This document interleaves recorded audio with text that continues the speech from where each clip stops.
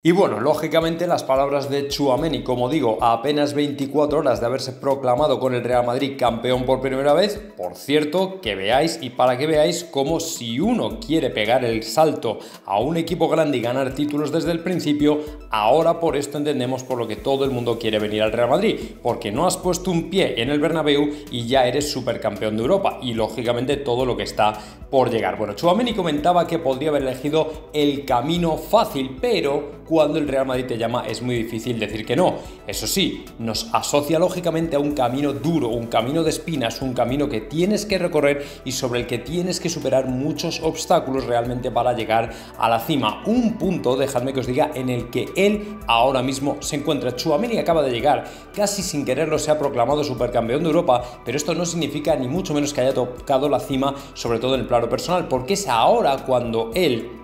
tiene que demostrar realmente por qué quiere un puesto en el equipo y luchar para conseguirlo. Así que lógicamente me alegro mucho de que haya elegido de esa manera, teniendo muy claro que el Real Madrid tiene que estar a todas y tiene que estar por encima de cualquier otra prioridad, pero tiene que saber también que este equipo ha devorado a muchos grandes estrellas, muchos grandes y futuros balones de oro que se quedaron en nada porque no soportaron la presión. Así que ánimo Chuameni, estamos convencidos de que lo vas a hacer muy bien, pero cuidado que el Real Madrid desde luego no es una broma, sino que es un gran desafío.